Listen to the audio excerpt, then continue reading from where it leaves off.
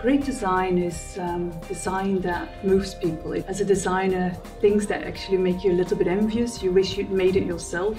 I find my inspiration everywhere. Sometimes it's just a very nice and quiet moment, but of course, sometimes also I go actively looking for inspiration, searching internet blogs, or I'm really inspired by the white page and how to get all these great ideas, the brainstorming into the final product.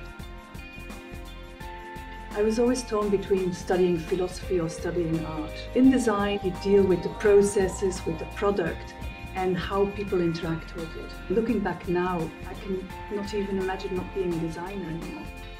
For the Vignale, we chose um, some really premium materials and um, put a little bit of haute couture, a bit of fashion into the whole concept.